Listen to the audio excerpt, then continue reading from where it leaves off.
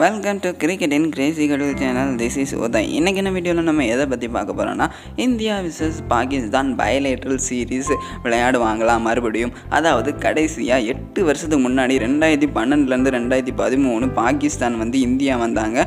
ஒரு சில ஓடியையும் டி ட்வெண்ட்டியும் விளையாண்டாங்க. அதுக்கப்புறம் இந்தியாவும் பாகிஸ்தானும் பயலேட்ரல் சீரீஸ் விளையாடவே இல்லை இன்னும் வரைக்கும். ஆனால் அந்த வேர்ல்டு கப்பாக இருக்கட்டும் ஏசியா கப்பாக இருக்கட்டும் இந்த மாதிரி மேட்சஸ் தான் விளையாண்டுட்டு இருந்தாங்க. பயலேட்ரல் சீரிஸ் இது வரைக்கும் நடக்கலை.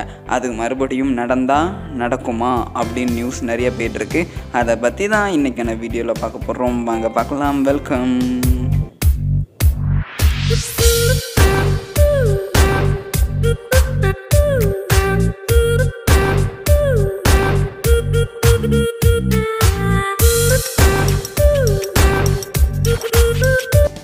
ஓகேங்க இந்த வீடியோ பிடிச்சிருந்தா மறக்காம சப்ஸ்கிரைப் பண்ணிங்கன்னா இதே மாதிரி நிறைய கிரிக்கெட் கண்டென்ட் ட்ரெண்டிங்காக இருக்கிறதும் உங்களுக்கு தெரியாத கண்டென்ட் உங்கள்கிட்ட சேர்க்குறதுக்கும் கொஞ்சம் மோட்டிவாக இருக்கும். வாங்க இன்றைக்கான வீடியோக்குள்ளே போகலாம் ஓகேங்க பாகிஸ்தான் வந்து இந்தியா கூட பயலேட்ரல் சீரீஸ் விளையாட இருக்கிறாங்க இந்த வருஷம். அப்படின்னு நிறைய நியூஸ் பரவலாக போயிட்டுருக்கு. அதை பற்றி தான் பார்க்க போகிறோம் அது மட்டும் இல்லாமல் நம்ம விராட் கோலி கிட்ட பிசிசிஐ வந்து சொல்லியிருந்தாங்களாம். அதாவது இந்த வருஷம் அவங்க டி ட்வெண்ட்டி சீரீஸ் விளையாட இருக்காங்க. ஆனால் அது யாரு கூடலாம் சொல்லவில்லை.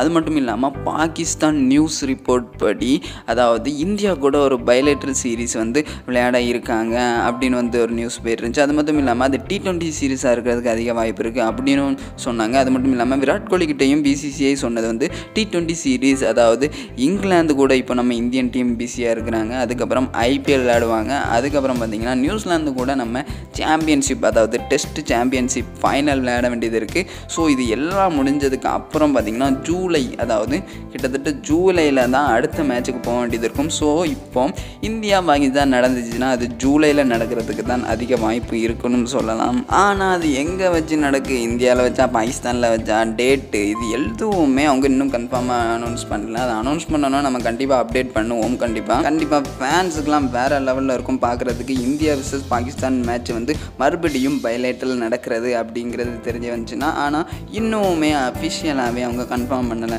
பாகிஸ்தான் நியூஸ் ரிப்போர்ட் வந்திருக்கு. ஸோ அந்த மாதிரி ஒரு ஒரு சின்ன சின்ன இன்ஃபர்மேஷன் தான் அங்கங்கே இருந்து வந்திருக்கு. ஸோ இன்னும் இந்தியன் போர்டு வந்து இன்னும் அஃபிஷியலாக எதுவுமே அனௌன்ஸ் பண்ணலை. கண்டிப்பாக அனௌன்ஸ் பண்ணுவாங்களான்னு அதெல்லாம் தெரியாது. அனௌன்ஸ் பண்ணால் கண்டிப்பாக அப்டேட் பண்ணுறோம் ஓகேங்க. இப்போது உங்கள் மைண்டில் இருக்கிற கொஸ்டினுக்கெலாம் விட கிடச்சிருக்குன்னு நினைக்கிறேன். அதாவது இப்போதைக்கு அவங்க இவ்வளோ இன்ஃபர்மேஷன் தான் கொடுத்துருக்காங்க. அவ்வளோ தெரிஞ்ச இன்ஃபர்மேஷன்லாம் அவங்ககிட்ட சேர்த்துட்டோம். இனி வர அப்டேட்டுக்காண்டி வெயிட் பண்ணிட்டு இருங்க. நம்ம இந்தியன் போர்ட் இருந்து. ஓகே நம்ம அடுத்த வீடியோவில் சந்திப்போம். சப்ஸ்கிரைப் பண்ணிங்கன்னா அந்த அப்டேட்டை டக்குன்னு உங்கள்கிட்ட சேர்க்குறதுக்கு கொஞ்சம் மோட்டிவாக இருக்கும். நம்ம அடுத்த வீடியோவில் சந்திப்போம். Bye bye bye bye subscribe to cricket in channel